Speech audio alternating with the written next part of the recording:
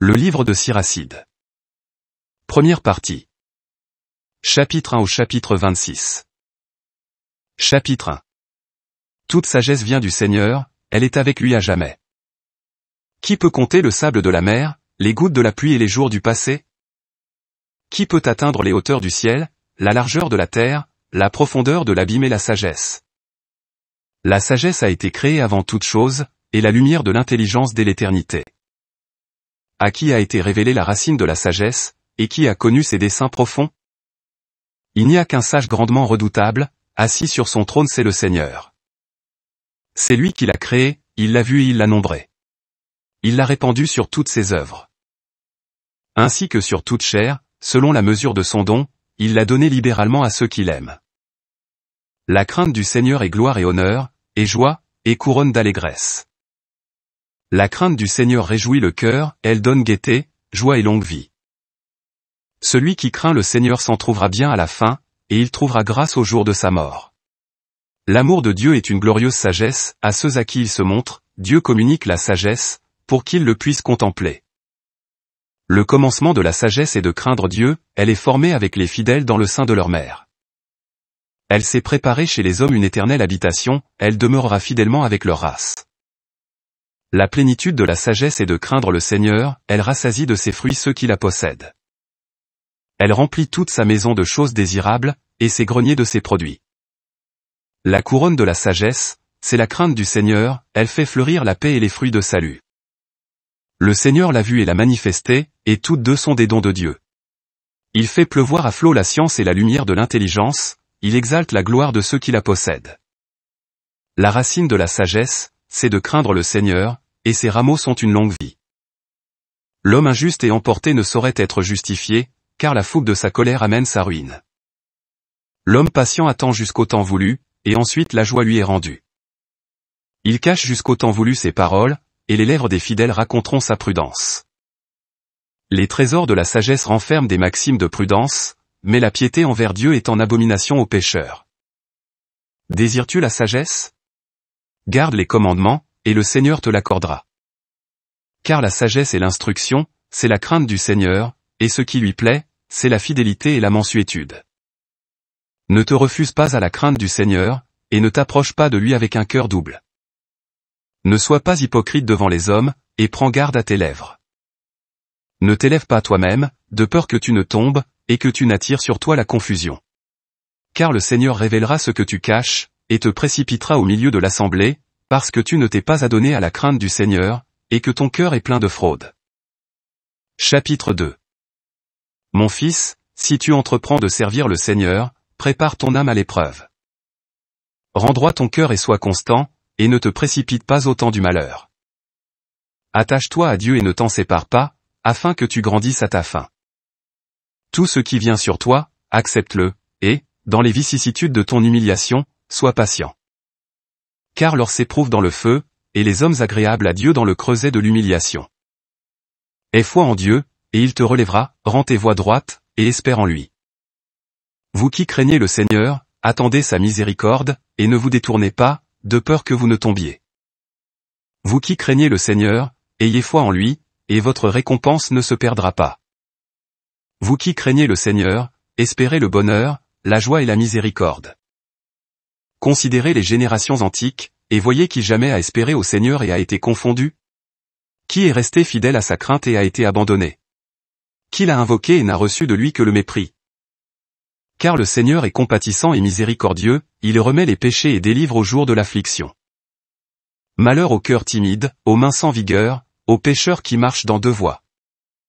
Malheur au cœur sans vigueur, parce qu'il n'a pas foi en Dieu.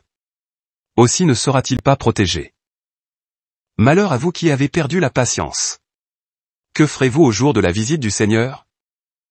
Ceux qui craignent le Seigneur ne sont pas indociles à ses paroles, et ceux qui l'aiment gardent fidèlement ses voies. Ceux qui craignent le Seigneur cherchent son bon plaisir, et ceux qui l'aiment se rassasient de sa loi. Ceux qui craignent le Seigneur préparent leur cœur, et tiennent leurs âmes humiliées devant lui. En disant nous tomberons entre les mains du Seigneur, et non entre les mains des hommes, car autant il a de puissance, autant il a de miséricorde. Chapitre 3 Mes enfants, écoutez-moi, moi qui suis votre Père, et faites en sorte que vous obteniez le salut. Car le Seigneur veut que le Père soit honoré par ses enfants, et il a affermi sur les fils l'autorité de la mère. Celui qui honore son Père expie ses péchés. Et c'est amasser un trésor que d'honorer sa mère. Celui qui honore son Père sera réjoui par ses enfants, et il sera exaucé au jour de sa prière. Celui qui honore son Père aura de longs jours, celui qui obéit au Seigneur donnera consolation à sa mère. Celui qui craint le Seigneur honore ses parents, et sert comme des maîtres ceux qui lui ont donné le jour. En action et en parole honore ton Père, afin que sa bénédiction vienne sur toi. Car la bénédiction du Père affermit les maisons des enfants, mais la malédiction de la mère déracine les fondations. Ne te glorifie pas de l'opprobre de ton Père, car sa confusion ne saurait te faire honneur. Car la gloire d'un homme lui vient de l'honneur de son Père, et une mère méprisée est la honte de ses enfants. Mon fils, soutiens ton Père dans sa vieillesse, et ne le contriste pas durant sa vie. Son esprit viendrait-il à s'affaiblir, sois indulgent, et ne le méprise pas dans la plénitude de tes forces. Car le bienfait à un père ne sera pas mis en oubli, et, à la place de tes péchés, ta maison deviendra prospère. Au jour de la tribulation, le Seigneur se souviendra de toi, comme la glace se fond par un temps serein, ainsi se dissiperont tes péchés. Il ressemble au blasphémateur celui qui délaisse son père, il est maudit du Seigneur celui qui irrite sa mère. Mon fils, accomplis tes œuvres avec mansuétude, et tu seras aimé de l'homme agréable à Dieu. Humilie-toi d'autant plus que tu es plus grand, et tu trouveras grâce devant le Seigneur. Car la puissance du Seigneur est grande, et il est glorifié par les humbles. Ne cherche pas ce qui est trop difficile pour toi, et ne scrute pas ce qui dépasse tes forces. Ce qui t'est commandé, voilà à quoi tu dois penser, car tu n'as que faire des choses cachées. Ne t'applique point aux occupations superflues, car on t'en a déjà montré plus que l'esprit humain ne peut saisir. Leur propre illusion en a égaré un grand nombre, et une présomption coupable a fait dévier leurs pensées. Celui qui aime le danger y trouvera sa perte et le cœur dur tombe à la fin dans le malheur. Le cœur dur sera accablé d'affliction, et le pécheur entasse péché sur péché. Le malheur de l'orgueilleux est sans remède, car la plante du mal a jeté en lui ses racines. Le cœur de l'homme intelligent médite la parabole, trouver une oreille attentive et le désir du sage. L'eau éteint le feu le plus ardent, et l'aumône expie les péchés. Celui qui paie de retour les bienfaits songe à l'avenir, et, au jour du malheur, il trouvera un appui. Chapitre 4 Mon fils, ne prive pas le pauvre de sa subsistance, ne fais pas attendre les yeux de l'indigent. N'afflige pas l'âme de celui qui a faim, et n'aigris pas l'homme indigent dans sa détresse. N'irrite pas davantage un cœur exaspéré, et ne diffère pas de donner aux nécessiteux. Ne repousse pas le suppliant qui souffre, et ne détourne pas ton visage du pauvre. Ne détourne pas ton regard du nécessiteux, et ne lui donne pas occasion de te maudire.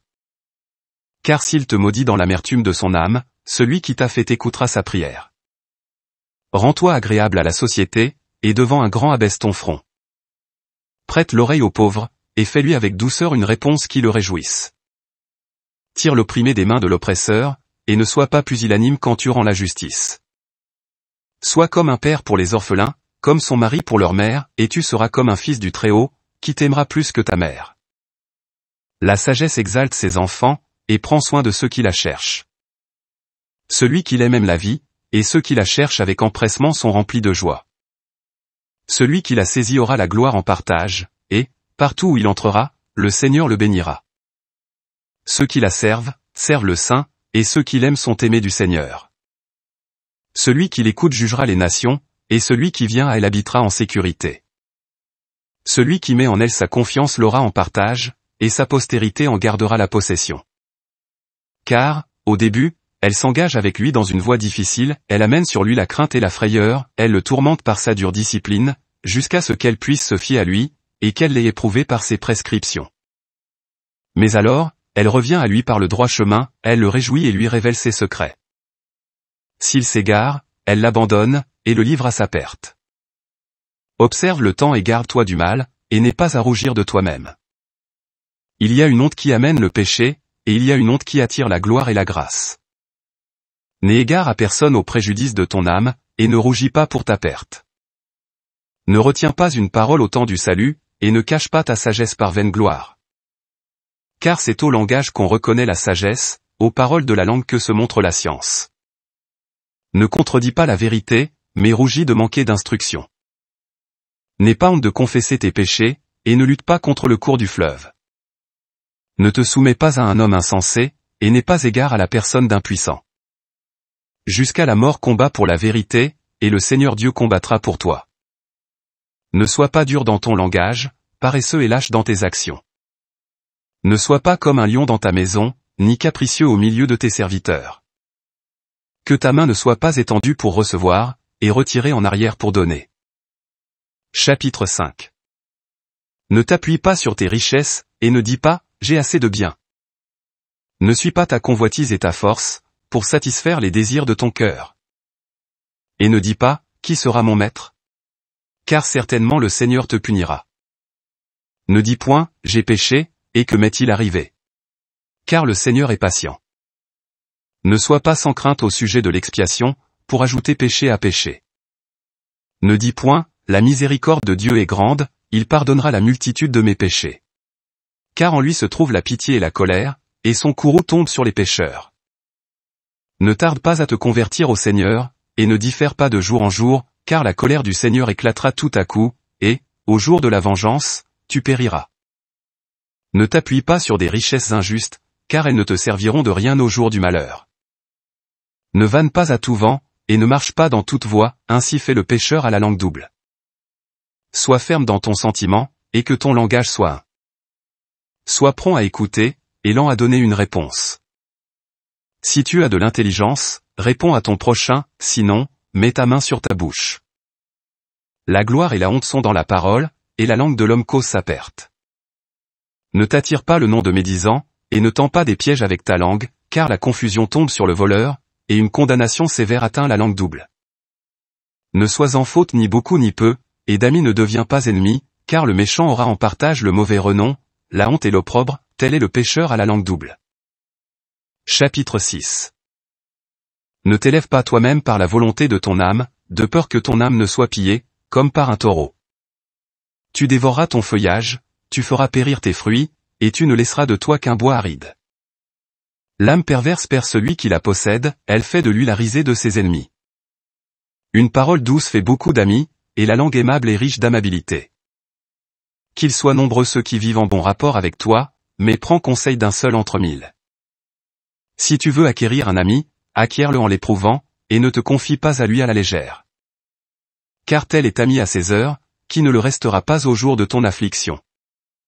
Tel est ami qui deviendra un ennemi, et qui révélera votre différend à ta confusion. Tel est ami quand il est assis à ta table, qui ne le restera pas au jour de ton malheur. Durant ta prospérité, il sera comme un autre toi-même, et il parlera librement avec les gens de ta maison. Si tu tombes dans l'humiliation, il sera contre toi, et il se cachera devant toi. Éloignez-toi de tes ennemis, et sois sur tes gardes avec tes amis. Un ami fidèle est une protection puissante, celui qui le trouve a trouvé un trésor. Rien ne vaut un ami fidèle, aucun poids ne saurait en marquer le prix. Un ami fidèle est un remède de vie, ceux qui craignent le Seigneur le trouvent. Celui qui craint le Seigneur a une véritable amitié, car son ami lui est semblable. Mon fils, dès ta jeunesse adonne-toi à l'instruction, et jusqu'à tes cheveux blancs tu trouveras la sagesse. Approche-toi d'elle comme le laboureur et le semeur, et attends ses bons fruits. Pendant un peu de temps tu auras de la peine à la cultiver, et bientôt tu mangeras de ses fruits. Combien elle est escarpée pour les ignorants. L'insensé ne lui restera pas attaché. Comme une lourde pierre d'épreuve, elle pèse sur lui, et il ne tarde pas à la rejeter. Car la sagesse justifie son nom, elle ne se découvre pas au grand nombre. Écoute, mon fils, et reçois ma pensée, et ne rejette pas mon conseil. Engage ton pied dans ses entraves, et ton cou dans son collier. Courbe ton épaule pour la porter, et ne t'irrite pas de ses liens. Viens à elle de toute ton âme, et garde ses voies de toutes tes forces. Suis ses traces et cherche-la, et elle se fera connaître à toi, et, quand tu l'auras saisie, ne la quitte pas. Car à la fin tu trouveras son repos, et elle se changera pour toi en sujet de joie. Ses entraves deviendront pour toi une protection puissante, et son collier un vêtement de gloire. Car sur sa tête est un ornement d'or, et ses bandeaux sont un tissu d'hyacinthe. Tu t'en revêtiras comme d'une robe de gloire, et tu la mettras sur ta tête comme une couronne de joie. Mon fils, si tu le veux, tu acquéras l'instruction, et, si tu appliques ton âme, tu deviendras habile. Si tu aimes à écouter, tu apprendras, si tu prêtes l'oreille, tu deviendras sage. Tiens-toi dans la compagnie des vieillards, quelqu'un est-il sage? Attache-toi à lui. Écoute volontiers tout discours sur Dieu, et que les maximes de sagesse ne t'échappent pas. Si tu vois un homme de sens, sois près de lui dès le matin, et que ton pied use le seuil de sa porte. Médite sur les commandements du Seigneur, et réfléchis constamment à ses préceptes, lui-même affermira ton cœur, et la sagesse que tu désires te sera donnée. Chapitre 7 Ne fais pas le mal, et le mal ne te saisira pas. Éloigne-toi de ce qui est injuste, et l'injuste s'éloignera de toi. Mon fils, ne sème point dans les sillons de l'injustice, si tu ne veux pas récolter cette fois autant. Ne demande pas au Seigneur le pouvoir, ni au roi un siège d'honneur. N'essaie pas de paraître juste devant le Seigneur, et ne cherche pas à paraître sage devant le roi. Ne cherche pas à devenir juge, de peur que tu n'aies pas la force d'extirper l'injustice, de peur que tu ne sois intimidé en présence d'un puissant, et que tu ne mettes en péril ton équité. N'offense pas toute la population d'une ville, et ne te jette pas au milieu de la foule. Ne lis pas deux fois le péché, car même pour un seul tu ne seras pas impuni. Ne dis pas Dieu considérera la multitude de mes dons, et, quand je les offrirai au Dieu très haut, il les recevra. Ne sois pas pusillanime dans ta prière, et ne néglige pas de faire l'aumône. Ne te moque pas de l'homme dont le cœur est affligé, car il y en a un qui abaisse et qui élève. Ne forge point de mensonges contre ton frère, ne fais point pareille chose contre ton ami. Garde-toi de dire aucun mensonge, car le mensonge continu ne tourne pas à bien. Ne bavarde pas dans la compagnie des vieillards, et ne répète pas les paroles de ta prière. Ne hais pas les labeurs pénibles, ni le travail des champs institués par le Très-Haut. Ne te mets pas parmi le plus grand nombre des pécheurs, souviens-toi que la vengeance ne tardera pas. Humilie profondément ton âme, car le feu et le verre sont le châtiment de l'impie. N'échange pas un ami pour de l'argent, ni un frère pour l'or d'offrir. Ne te détourne pas d'une épouse intelligente et bonne, car son charme vaut mieux que l'or. Ne maltraite pas l'esclave qui travaille fidèlement, ni le mercenaire qui se dévoue à ton service. Aime l'esclave intelligent, ne le prive pas de la liberté. As-tu des troupeaux, prends en soin, et, s'ils te sont utiles, garde-les chez toi. As-tu des fils, instruis-les, et plie-les aux joues dès leur enfance. As-tu des filles, veille à leur chasteté, et n'aie pas avec elles un visage jovial. Marie ta fille, et tu auras fini une grosse affaire, et donne-la à un homme intelligent. As-tu une femme selon ton cœur, ne la répudie pas, mais ne te donne pas à une femme qui t'est contraire. Honore ton père de tout ton cœur, et n'oublie pas les douleurs de ta mère. Souviens-toi que c'est par eux que tu es venu au monde et comment leur rendras-tu ce qu'ils t'ont donné? Crains le Seigneur de toute ton âme, et tiens ses prêtres en grand honneur. Aime de toutes tes forces celui qui t'a fait, et ne délaisse pas ses ministres. Crains le Seigneur et honore le prêtre, donne-lui sa part, comme il a été prescrit dès l'origine la victime pour le délit avec le don des épaules, la sainte oblation et les prémices. Tends aussi la main aux pauvres, afin que ta bénédiction soit complète. Donne gracieusement à tout vivant et ne refuse pas ton bienfait aux morts. Ne fais pas défaut à ceux qui pleurent, et afflige-toi avec les affligés. Ne néglige pas de prendre soin des malades, pour de tels actes de charité tu seras aimé de Dieu. Dans toutes tes actions souviens-toi de ta faim, et tu ne pécheras jamais. Chapitre 8 N'aie pas de dispute avec un homme puissant, de peur que tu ne tombes entre ses mains. N'aie pas de querelle avec un homme riche, de peur qu'il ne t'oppose le poids de son or, car l'or a perdu beaucoup de gens, il a même fait dévier le cœur des rois. N'aie pas de dispute avec un grand parleur, et n'entasse pas de bois dans son feu. Ne plaisante pas avec un homme mal élevé, de peur que tes ancêtres ne soient déshonorés.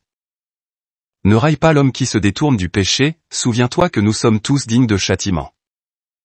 Ne méprise pas un homme dans sa vieillesse, car quelques-uns d'entre nous vieillissent aussi. Ne te réjouis pas quand un homme meurt, souviens-toi que nous mourrons tous. Ne néglige pas les discours des sages, et entretiens-toi de leurs maximes, car tu apprendras de l'instruction, et l'art de servir les grands. Ne laisse pas échapper les discours des vieillards, car eux-mêmes ont appris de leur père. Tu apprendras de la sagesse, et à bien répondre quand il en sera besoin. N'allume pas les charbons du pécheur, de peur que tu ne sois dévoré par les ardeurs de sa flamme. Ne tiens pas tête à l'insolent qui t'insulte, de peur qu'il ne se mette en embuscade pour épier tes paroles. Ne prête pas à plus puissant que toi, et, si tu lui as prêté une chose, tiens-la pour perdue. Ne te porte pas caution au-delà de tes moyens, et, si tu as cautionné, inquiète-toi comme devant payer. N'aie pas de litige avec un juge, car on décidera pour lui selon sa considération. Ne fais point route avec un téméraire, de peur qu'il ne te devienne à charge, car il fait tout à sa fantaisie, et, par sa folie, tu périras avec lui. N'aie pas de querelle avec un homme irascible, et ne traverse pas le désert avec lui, car le sang est comme rien à ses yeux, et là où il n'y aura pas de secours, il te terrassera. Ne tiens pas conseil avec un fou, car il ne pourra rien faire. Devant un étranger ne fais rien qui doive rester caché, car tu ne sais ce qu'il peut faire. Ne découvre pas ton cœur à tout homme, si tu ne veux pas en être mal récompensé. Chapitre 9 Ne sois point jaloux de la femme qui repose sur ton sein, et n'éveille pas dans son esprit, à ton détriment, une idée mauvaise. Ne livre pas ton âme à ta femme, de telle sorte qu'elle s'élève contre ton autorité. Ne va pas à la rencontre d'une femme courtisane, de peur de tomber dans ses filets. Ne reste pas longtemps avec une chanteuse, de peur que tu ne sois pris par son art. N'arrête pas ton regard sur une jeune fille, de peur d'avoir à subir des châtiments à cause d'elle. Ne te livre pas aux courtisanes, de peur que tu ne perdes ton héritage. Ne promène pas tes yeux dans les rues de la ville, et ne rôde pas dans ces endroits solitaires. Détourne les yeux de la femme élégante, et ne regarde pas curieusement une beauté étrangère. Beaucoup sont séduits par la beauté de la femme, et la passion s'y allume comme un feu. Ne t'assois jamais auprès d'une femme mariée, ne t'accoude pas à table avec elle, et ne bois pas avec elle le vin dans des banquets, de peur que ton âme ne se tourne vers elle, et que la passion ne t'entraîne à ta perte. N'abandonne pas un vieil ami, car le nouveau ne le vaudra pas. Vin nouveau, nouvel ami, qu'il vieillisse, et tu le boiras avec plaisir. N'envie pas la gloire du pécheur, car tu ne sais pas ce que sera sa ruine. Ne prends pas plaisir au plaisir des impies, souviens-toi qu'ils ne resteront pas impunis jusqu'au shéol. Tiens-toi loin de l'homme qui a le pouvoir de faire mourir, et tu n'auras pas la crainte de la mort. Et si tu l'approches, garde-toi de toute faute, de peur qu'il ne t'ôte la vie. Sache que tu marches au milieu de pièges, et que tu te promènes sur les créneaux de la ville. Observe autant que possible ton prochain, et prends conseil des sages. Oh, nouvel ami, qu'il vieillisse, et tu le boiras avec plaisir. Converse avec les hommes intelligents, et que tous tes entretiens soient sur la loi du Très-Haut. Que les hommes justes soient tes commensaux, et mets ta gloire dans la crainte de Dieu. C'est la main de l'artiste qui vaut à une œuvre la louange, c'est sa parole qui fait paraître sage le chef du peuple. Le grand parleur est redouté dans sa ville, et l'inconsidéré s'attire la haine par ses discours. Chapitre 10 Le prince sage tient son peuple dans la discipline, et le gouvernement de l'homme sensé est bien réglé. Tel le chef du peuple, tel ses ministres, et tel le gouvernement de la ville, tel tous ses habitants. Un roi ignorant perd son peuple, mais une ville prospère par l'intelligence des chefs. La souveraineté du pays est entre les mains du Seigneur, et il lui suscitant son temps le prince habile. Le succès d'un homme est dans la main du Seigneur, c'est lui qui met sur le front du chef son autorité. Pour aucune injustice ne garde rancune à ton prochain, et ne fais rien au milieu des actes de violence. L'orgueil est odieux à Dieu et aux hommes, et pour les deux, l'injustice est une iniquité. La domination passe d'un peuple à un autre, à cause de l'injustice, des injures et de la convoitise des richesses. Pourquoi s'enorgueillit ce qui est terre et poussière? Car pendant sa vie je mets le trouble dans ses membres. La maladie est longue, le médecin se rit, et le roi d'aujourd'hui mourra demain. Et quand l'homme est mort, il a en partage les larves, les bêtes et les vers.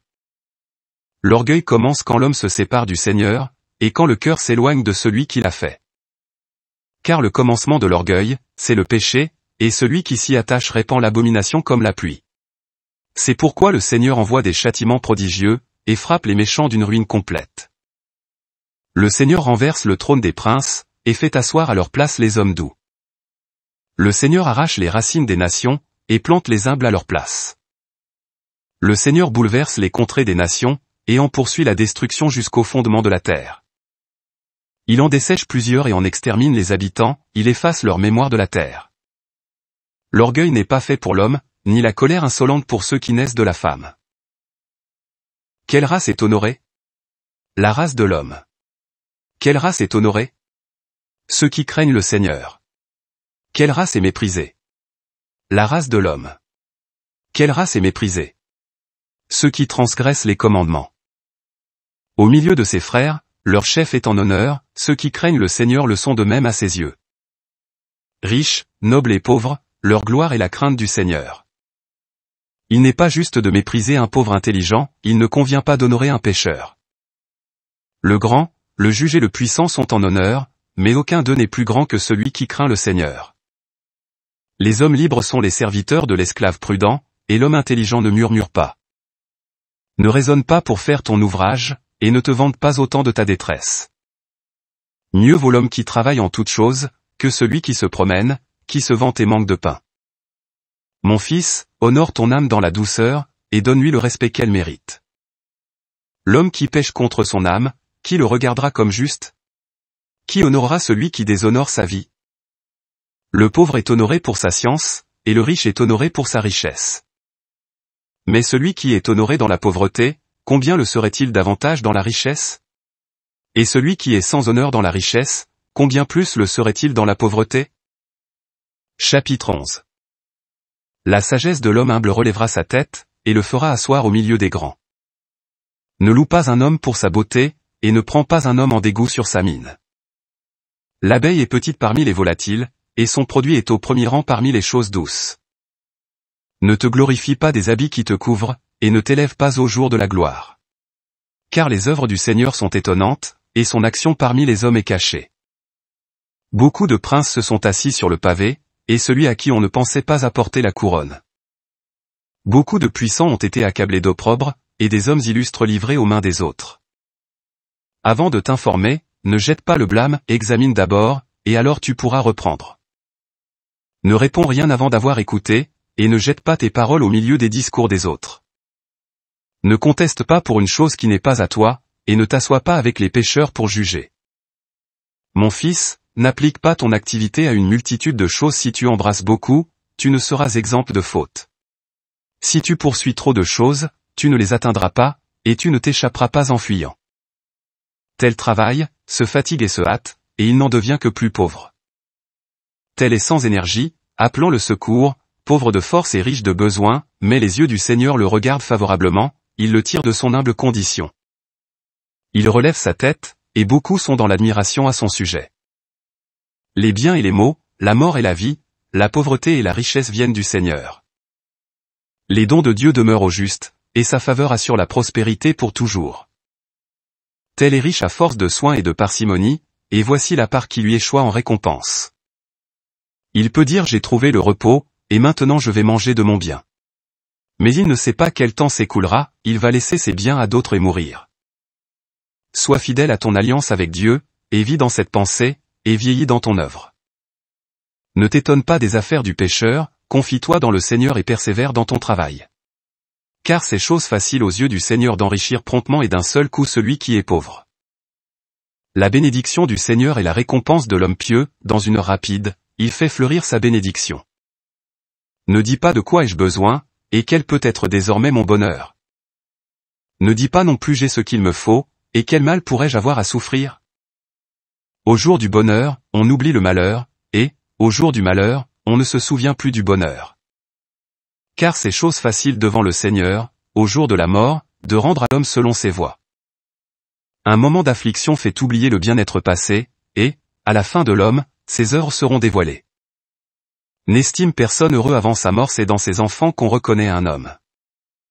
N'introduis pas tout le monde dans ta maison, car les embûches de l'homme trompeur sont nombreuses.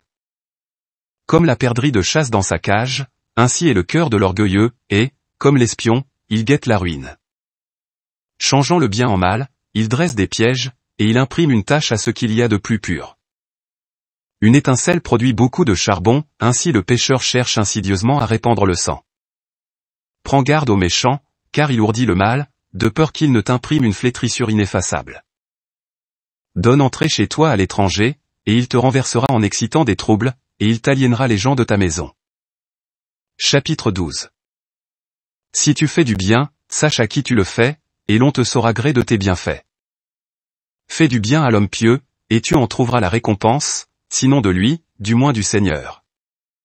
Les bienfaits ne sont pas pour celui qui persévère dans le mal, ni pour celui qui ne pratique pas la bienfaisance. Donne à l'homme pieux, et n'assiste pas le pécheur. Fais du bien à celui qui est humilié, et ne donne pas à l'impie, refuse-lui du pain, et ne lui en donne pas, de peur qu'il ne devienne par là plus fort que toi, car tu recueilleras un double mal de tout le bien que tu lui auras fait. Le Très-Haut aussi est les pécheurs, et il tirera vengeance des impies. Donne à l'homme vertueux, et n'assiste pas le pécheur. Ce n'est point dans la prospérité qu'un ami s'attire le châtiment, ni dans l'adversité qu'un ennemi se dissimule. Quand un homme est heureux, ses ennemis sont dans le deuil quand il est malheureux, son ami même se sépare de lui. Ne te fie jamais à ton ennemi, car sa malice est comme l'airain que couvre la rouille. Alors même qu'il se montre humble et marche courbé, veille sur toi-même et garde-toi de lui, et tu seras pour lui comme celui qui polit un miroir, et tu connaîtras qu'il n'a pas de rouge jusqu'à la fin. Ne mets pas à côté de toi, de peur qu'il ne te renverse et ne prenne ta place. Ne le fais pas asseoir à ta droite, de peur qu'il ne cherche à occuper ton siège, et qu'à la fin, reconnaissant la vérité de mes discours, tu n'aies du chagrin au souvenir de mes paroles. Qui aura pitié de l'enchanteur mordu par un serpent, et de tous ceux qui approchent les bêtes féroces Il en est de même de celui qui lit société avec un pécheur, et qui se mêle à ses péchés. Il reste une heure avec toi, mais, si tu te détournes, il ne tiendra pas plus longtemps. L'ennemi a la douceur sur les lèvres, et, dans son cœur, il médite le moyen de te jeter dans la fosse. L'ennemi a des larmes dans les yeux, et, s'il trouve l'occasion, il sera insatiable de ton sang. Si le malheur t'atteint, tu le trouveras là avant toi, et, sous prétexte de te secourir, il te donnera un croc en jambe. Alors il branlera la tête, il battra des mains, il ne cessera de chuchoter et prendra un autre visage. Chapitre 13 Qui touche à la poix se souille, et qui se lie avec l'orgueilleux lui devient semblable. Ne mets pas sur tes épaules un lourd fardeau, et ne te lie pas avec un homme plus fort et plus riche que toi. Quelle association peut-il y avoir entre le pot de terre et le chaudron?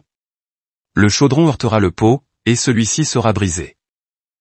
Le riche commet une injustice, et il frémit d'indignation, le pauvre est maltraité, et il demande excuse. Tant que tu pourras lui être utile, il se servira de toi, et quand tu n'auras plus rien, il te délaissera. Si tu as du bien, il vivra avec toi, il te dépouillera, et n'aura nul souci. Lui es-tu nécessaire? Il t'enjôlera, il te sourira et te donnera des espérances, il te dira de belles paroles et te dira de quoi as-tu besoin. Il te rendra confus par ses festins, jusqu'à ce qu'il t'ait dépouillé deux ou trois fois, après quoi, il te verra et te délaissera, et secoura la tête devant toi. Prends garde de te laisser séduire, et, au sein de la prospérité, de tomber dans l'humiliation. Si un puissant t'appelle, retire-toi en arrière, il ne fera que t'inviter avec plus d'instance. Ne tombe pas sur lui à l'improviste, de peur d'être repoussé, et ne te tiens pas trop loin de lui, de peur d'être oublié.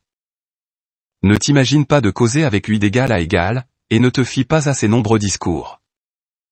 Car par son flux de paroles il te tentera, et il t'interrogera comme en souriant. Homme sans pitié, il ne gardera pas pour lui tes paroles, et il ne t'épargnera ni les coups ni les chaînes. Prends garde et fais bien attention, car tu marches avec ta ruine. Toute créature vivante aime son semblable, et tout homme son prochain. Toute chair s'unit selon son espèce, et tout homme s'associe à son semblable. Quelle union peut-il y avoir entre le loup et l'agneau? Il en est de même entre le pécheur et l'homme pieux. Quelle paix peut avoir lienne avec le chien? Quelle paix le riche avec le pauvre? Les onagres sont la proie des lions dans le désert, ainsi les pauvres sont la proie des riches. L'orgueilleux a en horreur l'humiliation ainsi le riche a en horreur le pauvre. Le riche vient-il à chanceler, ses amis le soutiennent, mais quand l'humble tombe, il est encore repoussé par ses amis. Quand le riche fait une chute, beaucoup lui viennent en aide, il tient des discours insensés, et on l'approuve. Quand l'humble fait une chute, il a encore des reproches. Le riche parle, et tout le monde se tait, et on élève son discours jusqu'au nu. Le pauvre parle, et l'on dit quel est celui-là, et, s'il heurte, on le culbute. La richesse est bonne quand elle n'est pas unie au péché, et la pauvreté est mauvaise dans la bouche de l'impie. Le cœur de l'homme change son visage, soit en bien, soit en mal. Le signe d'un cœur compte est un visage joyeux, pour trouver des sages maximes, il faut le labeur de la réflexion. Chapitre 14 Heureux l'homme qui n'a pas péché par les paroles de sa bouche, qui n'a pas été meurtri par le remords du péché. Heureux celui que son âme ne condamne pas, et qui n'a pas perdu son espérance au Seigneur. À l'homme sordide la richesse est inutile, et que servent les trésors à l'homme envieux? Celui qui amasse en se privant lui-même amasse pour d'autres, avec ses biens d'autres vivront dans les délices. Celui qui est mauvais à lui-même, pour qui sera-t-il bon? Il ne jouira pas de ses propres trésors. Il n'y a pas pire que celui qui se refuse tout, et c'est là le juste salaire de sa malice. S'il fait quelque bien, c'est par oubli, et il finit par laisser voir sa malice. C'est un méchant que celui qui regarde d'un œil d'envie, qui détourne son visage et méprise les âmes. L'œil de l'avare n'est pas rassasié par une portion, et une funeste convoitise dessèche l'âme. L'œil mauvais se refuse le pain, et il a faim à sa propre table. Mon fils, selon ce que tu possèdes, fais-toi du bien, et présente au Seigneur de dignes offrandes. Rappelle-toi que la mort ne tarde pas, et que le pacte du Shéol ne t'a pas été révélé. Avant de mourir, fais du bien à ton ami, et, selon tes moyens, étends la main et donne-lui. Ne te prive pas d'un jour de fête, et ne laisse échapper aucune partie d'un bon désir. Est-ce que tu ne laisseras pas à d'autres le fruit de ton labeur, et le fruit de tes peines à la décision du sort? Donne et prends, et réjouis ton âme, car il n'y a pas à chercher des délices dans le shéol. Toute chair vieillit comme un vêtement, car c'est une loi portée dès l'origine, tu mourras certainement.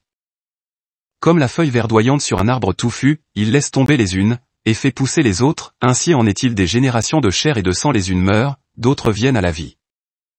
Toute œuvre corruptible finit par périr, et son ouvrier s'en ira avec elle. Heureux l'homme qui médite sur la sagesse, et qui parle avec son bon sens. Qui réfléchit dans son cœur sur ses voies, et qui étudie ses secrets. Qui la poursuit, comme un chasseur, et guette ses entrées. Il se baisse pour regarder par ses fenêtres, et il écoute à sa porte. Il s'établit tout près de sa demeure, et fixe ses pieux dans ses parois. Il dresse sa tente auprès d'elle, et il habite dans la maison où se trouve le bonheur. Il met ses enfants sous sa protection, et s'abrite sous ses rameaux. À son ombre, il sera garanti contre la chaleur, et il se reposera dans sa gloire. Chapitre 15 Voilà ce que fait celui qui craint le Seigneur, et celui qui s'attache à la loi obtiendra la sagesse. Elle viendra au-devant de lui comme une mère, et elle l'accueillera comme une épouse vierge. Elle le nourrira du pain de l'intelligence, et lui donnera à boire l'eau de la sagesse. Il s'appuiera sur elle et ne fléchira pas, il s'attachera à elle et ne sera pas confondu. Elle l'élèvera devant ses compagnons, et lui ouvrira la bouche au milieu de l'assemblée. La joie, une couronne d'allégresse, et un nom éternel seront son partage. Les insensés ne la posséderont pas, et les pécheurs ne la verront même pas. Elle se tient loin des hommes d'orgueil, et les hommes de mensonge ne songent pas à elle. La louange de Dieu n'est pas agréable dans la bouche du pécheur parce qu'elle n'est pas envoyée par le Seigneur. Car c'est par la sagesse qu'est dictée la louange, et le Seigneur l'aura pour agréable. Ne dis pas le Seigneur est cause que je me sois écarté, car ce qu'il est, tu ne dois pas le faire. Ne dis pas c'est lui qui m'a égaré, car il n'a pas besoin du pécheur. Le Seigneur est toute abomination, et elle ne doit pas être aimée de ceux qui le craignent. Au commencement il a créé l'homme, et il l'a laissé dans la main de son conseil. Si tu le veux, tu garderas les commandements, être fidèle dépend de ton bon plaisir. Il a mis devant toi le feu et l'eau, du côté que tu voudras tu peux étendre la main. Devant les hommes sont la vie et la mort, ce qu'il aura choisi lui sera donné. Car la sagesse du Seigneur est grande, il est fort et puissant, et il voit toutes choses. Ses yeux sont sur ceux qui le craignent, et il connaît lui-même toutes les œuvres de l'homme. Il n'a commandé à personne d'être impie, à personne il n'a donné la permission de pécher. Chapitre 16 Ne désire pas un grand nombre d'enfants inutiles, et ne mets pas ta joie dans des fils impies. S'ils se multiplient, ne t'en réjouis pas, si la crainte du Seigneur n'est pas avec eux. N'espère pas pour une longue vie, et ne fais aucun fond sur leur prospérité. Un seul vaut mieux que mille, et mieux vaut mourir sans enfant que d'avoir des fils impies. Car un seul homme intelligent peuplera un pays, mais la race des méchants sera détruite.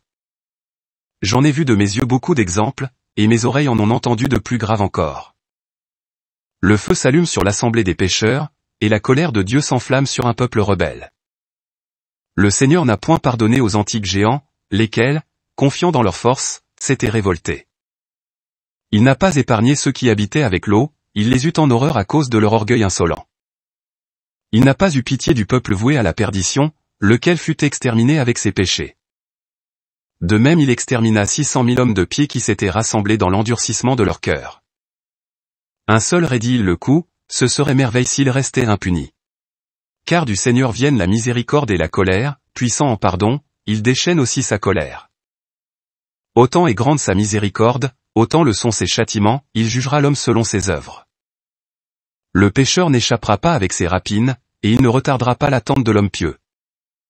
Il donnera carrière à toute sa miséricorde, et chacun recevra selon ses œuvres.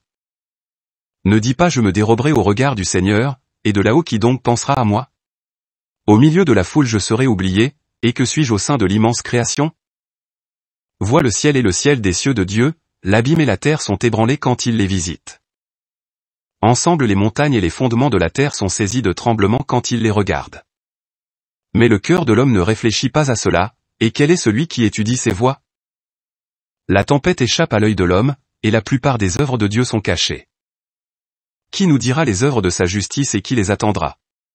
Elle est si loin l'alliance du châtiment. Ainsi pense l'homme sans intelligence, l'insensé qui s'égare n'imagine que folie. Écoute-moi, mon fils, et apprends la sagesse, et rends ton cœur attentif à mes paroles. Je te découvrirai une doctrine pesée dans la balance, et je te ferai connaître une science exacte. Les œuvres du Seigneur subsistent depuis l'origine comme il les a disposées, et dès leur création il en a séparé les parties. Il a orné pour toujours ses ouvrages, et les plus beaux pour briller d'âge en âge. Il n'éprouve ni la faim ni la fatigue, et ils n'interrompent pas leurs tâches. Aucun d'eux ne heurte son voisin, et à jamais ils obéissent au divin commandement. Après cela, le Seigneur regarda sur la terre et il la remplit de ses biens. D'animaux de toutes sortes il en a couvert la surface, et c'est dans son sein qu'ils doivent retourner. Chapitre 17 Le Seigneur a formé l'homme de terre, et il le fait retourner dans la terre. Il lui a assigné un nombre de jours et un temps déterminé, et il lui a donné pouvoir sur tout ce qui est sur la terre. Selon sa nature, il l'a revêtu de force, et il l'a fait à son image. Il a inspiré sa crainte à toute chair, et lui a donné l'empire sur les bêtes et sur les oiseaux. Il lui a donné le discernement, une langue, des yeux, des oreilles, et un cœur pour penser. Il l'a rempli de science et d'intelligence, et il lui a fait connaître le bien et le mal. Il a mis son œil dans leur cœur, pour leur montrer la grandeur de ses œuvres. Et ainsi ils loueront son saint nom, en publiant les merveilles de ses œuvres. Il leur a encore donné la science, et les a mis en possession de la loi de vie. Il a contracté avec eux une alliance éternelle, et il leur a révélé ses commandements. Et il leur a dit, Gardez-vous de toute iniquité, et il leur a donné à chacun des prescriptions à l'égard du prochain. Leurs voix sont constamment devant lui, rien ne peut les dérober à son regard. À chaque peuple il assigne un chef, mais Israël est la portion du Seigneur. Toutes leurs œuvres sont devant lui, comme le soleil, et ses yeux sont toujours tournés sur leur voie. Leurs injustices ne lui sont pas cachées, et tous leurs péchés sont devant le Seigneur. L'œuvre charitable d'un homme est pour lui comme un sceau, et il conserve le bienfait de l'homme comme la prunelle de l'œil. Ensuite il se lèvera et leur rendra selon leurs actions, et il fera retomber sur leur tête ce qui leur est dû. Cependant, à ceux qui se repentent, il accorde le retour, et il console ceux qui ont perdu confiance. Tourne-toi vers le Seigneur et quitte tes péchés, prie devant sa face et diminue tes offenses. Reviens au Très-Haut, détourne-toi de l'injustice, et déteste fortement ce qui est abominable. Qui louera le Très-Haut dans le Shéol, à la place des vivants et de ceux qui lui rendent leurs hommages? À l'homme mort, comme s'il n'était plus rien, la louange est impossible, celui qui a la vie et la santé loue le Seigneur. Quelle est grande la miséricorde du Seigneur, et sa compassion envers ceux qui se convertissent à lui. Car tout ne peut pas se trouver dans les hommes, le Fils de l'homme n'étant pas immortel. Quoi de plus brillant que le soleil? Et pourtant il s'obscurcit ainsi le méchant pense à la chair et au sang. Le soleil visite l'armée des astres dans les hauteurs des cieux, mais tous les hommes sont terre et cendre. Chapitre 18 Celui qui vit éternellement a tout créé sans exception. Le Seigneur seul est juste. Il n'a donné à personne de raconter ses œuvres, et qui pourra découvrir ses grandeurs? Qui exprimera la toute-puissance de sa majesté, et qui encore redira ses miséricordes? Rien n'a diminué, rien n'a ajouté, impossible de pénétrer les merveilles du Seigneur. Quand l'homme a fini de chercher, il n'est qu'au commencement, et, quand il s'arrête, il ne sait que penser. Qu'est-ce que l'homme et à quoi est-il bon? Quel est son bonheur et quel est son malheur? Le nombre des jours de l'homme est au plus de cent ans. Comme une goutte d'eau prise dans la mer et comme un grain de sable, ainsi c'est quelques années au jour de l'éternité. C'est pourquoi le Seigneur est patient à l'égard des hommes et il répand sur eux sa miséricorde. Il voit et il reconnaît que leur fin est déplorable, c'est pourquoi il est libéral à pardonner. La miséricorde de l'homme s'exerce envers son prochain, mais la miséricorde de Dieu s'étend à toute chair. Il reprend, il corrige, il instruit, et ramène au bercail, comme le berger son troupeau. Il a pitié de ceux qui reçoivent la correction, et de ceux qui s'empressent d'accomplir ses préceptes. Mon fils, à tes bienfaits n'ajoute pas l'injure, ni à tous tes dons les paroles qui excitent la tristesse. La rosée ne rafraîchit-elle pas les ardeurs du vent? De même une parole vaut mieux qu'un don. Ne vois-tu pas que la parole est meilleure que le don? L'homme gracieux unit les deux ensemble. L'insensé fait d'aigres reproches, et le don de l'envieux dessèche les yeux. Avant de parler, instruis-toi, avant la maladie, soigne-toi. Avant le jugement, examine-toi, et, à l'heure de l'enquête, tu trouveras grâce. Avant d'être malade, humilie-toi, et, quand tu es dans le péché, reviens à Dieu. Que rien ne t'empêche d'accomplir ton vœu dans le temps voulu, et n'attends pas jusqu'à la mort pour t'acquitter. Avant de faire un vœu, prépare-toi, et ne sois pas comme un homme qui tente le Seigneur. Songe à la colère du dernier jour, au temps de la vengeance, où Dieu détournera son visage. Au temps de l'abondance, pense au temps de la faim, au jour de la richesse, pense à la pauvreté et à la disette. Du matin au soir le temps change ainsi tout changement est rapide devant le Seigneur. L'homme sage étant toute chose sur ses gardes, au jour de péché, il se préserve de la faute. Tout homme sensé connaît la sagesse, et rend hommage à celui qui l'a trouvé. Ceux qui saisissent les discours des sages sont eux-mêmes des sages, et ils font pleuvoir les maximes parfaites. Ne te laisse pas aller à tes convoitises, et garde-toi de tes désirs. Si tu accordes à ton âme la satisfaction de ses convoitises, elle fera de toi la risée de tes ennemis. Ne mets pas ta joie dans l'abondance de la bonne chair, et ne lis pas société avec elle. Ne t'appauvris pas en donnant des banquets avec de l'argent emprunté, et quand tu n'as rien dans ta bourse. Chapitre 19. Garde-toi de tes désirs. L'ouvrier à donner au vin ne s'enrichira pas, celui qui ne soigne pas le peu qu'il a tombera bientôt dans la ruine. Le vin et les femmes égarent les hommes intelligents, et celui qui s'attache aux courtisanes est un imprudent. Les larves et les vers en feront leur proie, et l'âme criminelle sera retranchée. Celui qui croit trop vite est un cœur léger, et celui qui tombe dans cette faute pêche contre son âme. Celui qui prend plaisir à de sots discours sera condamné. Et celui qui est le bavardage se préserve du mal. Ne répète jamais une parole, et tu n'encourras aucun dommage. Ne la redis à un ami ni à un ennemi, et, à moins qu'il n'y ait faute pour toi, ne la révèle pas. Car, s'il t'entend, il se gardera de toi, et, le moment venu, il se montrera ton ennemi. As-tu entendu quelques graves propos? Qu'il meure avec toi. Sois sans inquiétude, il ne te fera pas éclater. Pour une parole à garder, l'insensé est dans les douleurs, comme la femme en travail d'enfant. Comme une flèche enfoncée dans la chair de la cuisse, ainsi est une parole dans le cœur de l'insensé. Questionne ton ami, peut-être n'a-t-il pas fait la chose, et, s'il l'a faite, afin qu'il ne la fasse plus. Questionne ton ami, peut-être n'a-t-il pas dit la chose, et, s'il l'a dite, afin qu'il ne recommence pas. Questionne ton ami, car souvent il y a calomnie, et ne crois pas tout ce qu'on dit. Il en est qui manque, mais sans que le cœur y soit, et qui est-ce qui n'a pas péché par sa langue? Questionne ton ami avant d'en venir aux menaces, et attache-toi à observer la loi du Très-Haut. Toute sagesse consiste dans la crainte du Seigneur, et dans toute sagesse est l'accomplissement de la loi. La sagesse n'est pas l'habileté à faire le mal, et la prudence ne se trouve pas dans le conseil des pécheurs. Il y a une habileté qui est exécrable, et il y a une folie qui n'est qu'un manque de sagesse. Mieux vaut celui qui a peu d'intelligence et qui craint Dieu, que l'homme qui a beaucoup de sens et qui transgresse la loi. Il y a une habileté véritable, mais qui viole la justice, et il est tel qui fausse la cause pour faire rendre la sentence qu'il désire. Il est tel méchant qui marche courbé par le chagrin, et son cœur est rempli de fraude. Il baisse la tête, il est sourd d'un côté, et, dès qu'il n'est pas remarqué, il prend sur toi les devants. Et si, par sa faiblesse, il est empêché de pécher, il fera le mal quand il en trouvera l'occasion. À son air on connaît un homme, et au visage qu'il présente on connaît le sage. Le vêtement d'un homme, le rire de ses lèvres, et la démarche d'un homme révèlent ce qu'il est. Chapitre 20 Il y a une réprimande qui n'est pas opportune, et tel ce qui fait preuve de prudence. Mieux vaut reprendre que de brûler d'une colère contenue. Et celui qui avoue sera préservé de dommages. Comme le nuque qui désire déflorer une jeune fille, ainsi est celui qui rend la justice avec violence. Qu'il est beau, quand on est repris, de témoigner du repentir. C'est ainsi que tu échapperas au péché volontaire. Tel en se taisant se montre sage, et tel se rend odieux par son intempérance de langage. Tel se tait parce qu'il n'a rien à répondre, tel autre se tait parce qu'il connaît le temps propice. Le sage se tait jusqu'au moment favorable, mais le fanfaron et l'inconsidéré passent par-dessus. Celui qui multiplie les paroles sera détesté, et celui qui se donne pleine licence se rendra odieux.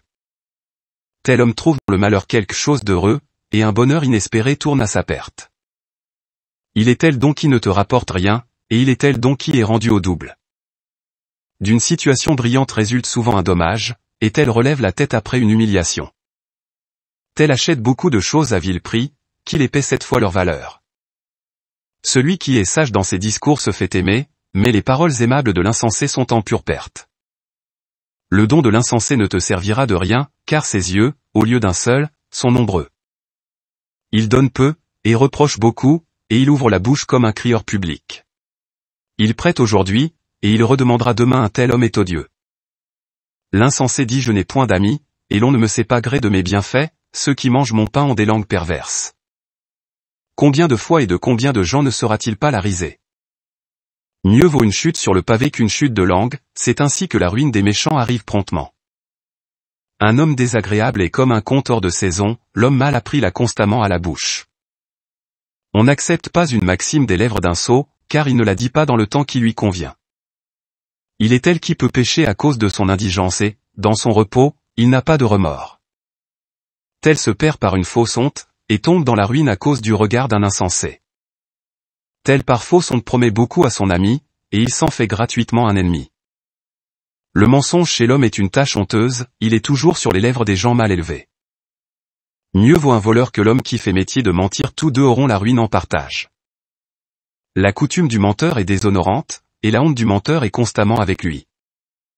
Celui qui est sage dans ses discours s'élève en considération, et l'homme prudent plaît au grand. Celui qui cultive sa terre élèvera son tas de blé, et celui qui plaît au grand se fait pardonner ses injustices. Les présents et les dons aveuglent les yeux des sages, et, comme une muselière à la bouche d'un animal, ils arrêtent le blâme. Sagesse cachée, trésor invisible à quoi servent l'un et l'autre? Mieux vaut l'homme qui cache sa sottise que celui qui cache sa sagesse.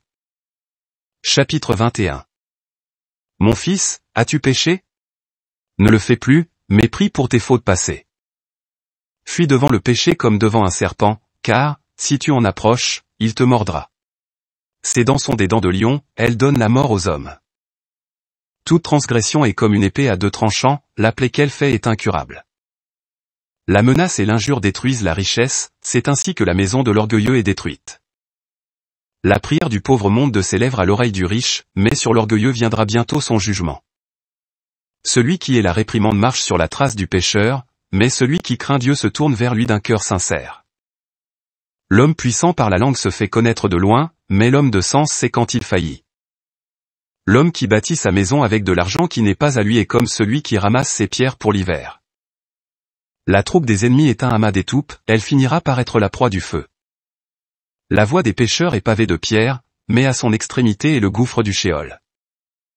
Celui qui observe la loi maîtrise ses pensées, et le résultat final de la crainte du Seigneur est la sagesse. Celui qui manque d'habileté ne sera pas instruit, mais il y a une habileté qui produit beaucoup d'amertume. La science du sage abonde comme une eau qui déborde, et son conseil est une source de vie. L'intérieur de l'insensé est comme un vase fêlé, il ne retiendra aucune connaissance. Que l'homme intelligent entende une sage parole, il en fait l'éloge et y ajoute quelque chose. Que le voluptueux l'entende, elle lui déplaît, et il la jette derrière lui. Le discours de l'insensé est comme un fardeau en voyage, mais sur les lèvres de l'homme intelligent se trouve la grâce. On recherche dans l'assemblée la bouche de l'homme prudent, et on médite ses paroles dans son cœur. La sagesse est pour le sot comme une maison en ruine, et la science de l'insensé n'est que paroles incohérentes. L'instruction est pour les insensés comme des chaînes aux pieds, et des menottes à la main droite. Le sot, quand il rit, fait éclater sa voix, mais l'homme habile sourit à peine tout bas. L'instruction est pour l'homme sensé comme une parure d'or, et comme un bracelet au bras droit. L'insensé entre d'un pas rapide dans la maison, mais l'homme d'expérience s'arrête timidement à l'entrée. L'insensé se courbe dès la porte pour voir dans la maison, mais l'homme bien élevé se tient dehors. C'est une grossièreté pour un homme d'écouter à la porte, l'homme sensé s'indigne d'une action si honteuse. Les lèvres des insensés ne profèrent que sottises, mais les paroles des hommes prudents sont pesées à la balance. Dans la bouche des sots est leur cœur, mais le cœur des sages est leur bouche. Quand l'impie maudit son adversaire, c'est lui-même qu'il maudit. Le rapporteur se souille lui-même, et il est détesté de tous ceux qui l'approchent. Chapitre 22 Le paresseux ressemble à une pierre remplie d'ordures, et chacun siffle son infamie. Le paresseux ressemble à une boule de fiente celui qui la ramasse secoue sa main. Un fils mal élevé est la honte du père qui lui a donné le jour, une fille semblable est venue au monde pour son détriment. Une fille prudente trouvera son mari, mais celle dont on a honte fait le chagrin de son père. L'effronté fait honte à son père et à son mari, tous deux la mépriseront. Telle une musique dans le deuil, tel un sermon à contre-temps, mais le fouet et la correction sont en tout temps de la sagesse. Instruire un sot, c'est recoller un pot cassé, raconter une chose à qui n'écoute pas, c'est réveiller un homme endormi d'un profond sommeil. C'est parler à un homme qui dort que d'entretenir un sot, à la fin de ton discours, il dira, qu'est-ce? Pleure sur un mort, car il est privé de lumière, pleure sur un sot, car il est privé de bon sens. Pleure doucement sur le mort, car il a trouvé le repos, mais la vie du sot est pire que la mort. Le deuil pour un mort dure sept jours, pour le sot et pour l'impie, il dure tous les jours de leur vie. Avec l'insensé n'est pas de longs entretiens, et ne va pas avec l'homme dénué de sens. Garde-toi de lui, si tu ne veux pas avoir d'ennui, et tu ne seras pas souillé de son contact. Détourne-toi de lui et tu trouveras le repos, et tu n'auras pas à t'attrister en voyant sa sottise. Qu'est-ce qui est plus lourd que le plomb, et quel autre nom lui donner que celui de sceau? Le sable, le sel, une masse de fer sont plus faciles à porter qu'un homme sans intelligence. Un assemblage de charpentes bien liées pour un édifice ne sera pas disjoint par un tremblement de terre ainsi le cœur fixé dans un dessin mûrement réfléchi sera sans crainte au moment critique. Le cœur qui s'appuie sur une pensée de sagesse est comme l'enduit mêlé de sable sur un mur poli. Une palissade sur une hauteur ne tient pas contre le vent ainsi un cœur timide avec ses folles résolutions ne résistera pas à la crainte. Celui qui froisse un œil fait couler des larmes, celui qui froisse un cœur excite le sentiment de la douleur. Celui qui jette une pierre contre des oiseaux les met en fuite, et celui qui reproche un bienfait à son ami dissout l'amitié. As-tu tiré l'épée contre ton ami? Ne désespère pas, un retour est possible. As-tu ouvert la bouche contre ton ami? Sois sans crainte, la réconciliation est possible. Mais le reproche d'un bienfait, l'arrogance, la révélation d'un secret, un coup de langue perfide cela met en fuite tous les amis. Reste fidèle à ton prochain dans sa pauvreté, afin que tu jouisses avec lui de sa prospérité. Reste avec lui au jour de son épreuve, afin que tu aies part aux biens qui lui surviendront. Avant le feu s'élève la vapeur de la fournaise et la fumée, de même avant l'effusion du sang retentissent les injures. Je ne rougirai pas de défendre mon ami, et je ne me cacherai pas devant lui. Et, si quelque mal m'arrive par son fait, quiconque l'apprendra se mettra en garde contre lui. Qui mettra une garde à ma bouche, et sur mes lèvres un sceau prudent, afin que je ne tombe pas à cause d'elle, et que ma langue ne me perde pas? Chapitre 23 Seigneur, Père et souverain maître de ma vie, ne m'abandonnez pas au conseil de mes lèvres, et ne permettez pas que j'y trouve une occasion de chute. Qui fera sentir le fouet à mes pensées, et la discipline de la sagesse à mon cœur, pour ne pas m'épargner dans mes folies, et ne pas laisser un libre cours à mes péchés? De peur que mes folies ne s'accroissent, que mes péchés ne se multiplient, que je ne tombe en présence de mes adversaires, et que mon ennemi ne se réjouisse à mon sujet? Seigneur, Père et Dieu de ma vie, ne me donnez point la licence des yeux et détournez de moi les désirs mauvais. Que les désirs de la chair et la volupté ne s'emparent pas de moi, et ne me livrez pas à une âme sans pudeur. Mes enfants, écoutez la discipline de la bouche, celui qui l'observera ne sera pas pris. Par ses lèvres le pécheur sera pris, le médisant et l'insolent y trouveront une occasion de chute. N'accoutume pas ta bouche à faire des serments, et ne prend pas l'habitude de prononcer le nom du saint. Car, comme un esclave mis souvent à la torture ne saurait être exempt de meurtrissure, ainsi celui qui fait serment et prononce sans cesse le nom du saint, ne sera pas pur du péché.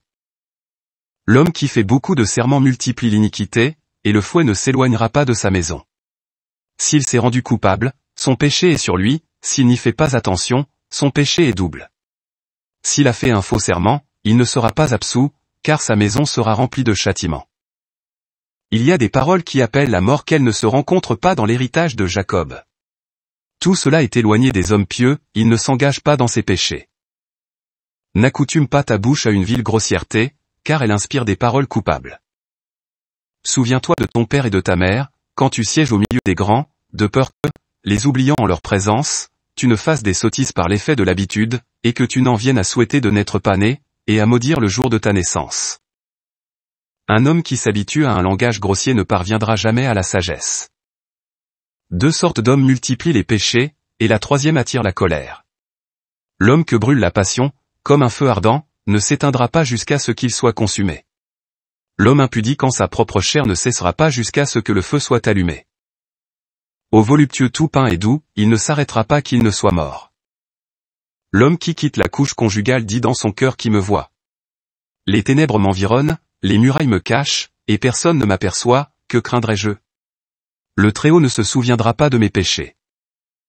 Les yeux des hommes sont sa crainte, et il ne sait pas que les yeux du Seigneur sont mille fois plus brillants que le soleil, qu'il regarde toutes les voies de l'homme, et pénètre jusque dans les lieux cachés. Avant d'être créées, toutes choses sont connues du Seigneur, elles le sont encore après leur achèvement. L'adultère sera puni dans les rues de la ville, et, là où il ne s'y attendait pas, il sera pris. Il en est de même de la femme qui a abandonné son mari, et donné un hérité d'une union étrangère. Car d'abord elle a désobéi à la loi du Très-Haut en deuxième lieu, elle a péché envers son mari, et en troisième lieu, elle a commis un adultère, et donné des enfants d'un sang étranger. Elle sera amenée devant l'assemblée, et le châtiment visitera ses enfants. Ses enfants ne pousseront point de racines, et ses branches ne porteront pas de fruits. Elle laissera une mémoire vouée à la malédiction, et son infamie ne s'effacera jamais. Et les survivants sauront qu'il n'y a rien de meilleur que la crainte du Seigneur, rien de plus doux que d'observer ses commandements. Chapitre 24 La sagesse se loue elle-même, et se glorifie au milieu de son peuple. Elle ouvre la bouche dans l'assemblée du Très-Haut, et se glorifie en présence de sa majesté. Je suis sorti de la bouche du Très-Haut, et, comme une nuée, je couvris la terre. J'habitais dans les hauteurs, et mon trône était sur une colonne de nuée. Seul, j'ai parcouru le cercle du ciel, et je me suis promené dans les profondeurs de l'abîme. Dans les flots de la mer et sur toute la terre, dans tout peuple et toute nation j'ai exercé l'empire. Parmi eux tous j'ai cherché un lieu de repos, et dans quel domaine je devais habiter. Alors le Créateur de toutes choses me donna ses ordres, et celui qui m'a créé fit reposer ma tente, et il me dit habite en Jacob, et ton héritage en Israël. Avant tous les siècles, dès le commencement il m'a créé, et jusqu'à l'éternité je ne cesserai pas d'être. J'ai exercé le ministère devant lui dans le saint tabernacle, et ainsi j'ai eu une demeure fixe en Sion. De même, il m'a fait reposer dans la cité bien-aimée, et dans Jérusalem est le siège de mon empire. J'ai poussé mes racines dans le peuple glorifié, dans la portion du Seigneur, dans son héritage. Je me suis élevé comme le cèdre sur le Liban, et comme le cyprès sur la montagne d'Hermon.